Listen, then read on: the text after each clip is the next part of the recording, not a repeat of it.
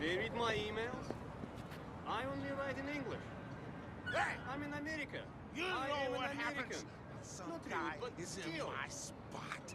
I don't What? want to be treated like a He foreigner gets immigrant. his ass handed to him if he doesn't move. Oh, yeah? I like to see that.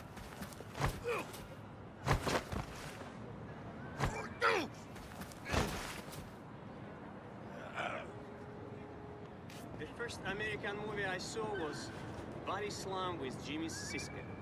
I never saw a movie like